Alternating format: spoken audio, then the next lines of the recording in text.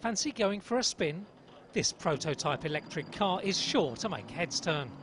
Designed by students from China, Taiwan and New Zealand, it has electric motors on all four wheels, each able to steer independently.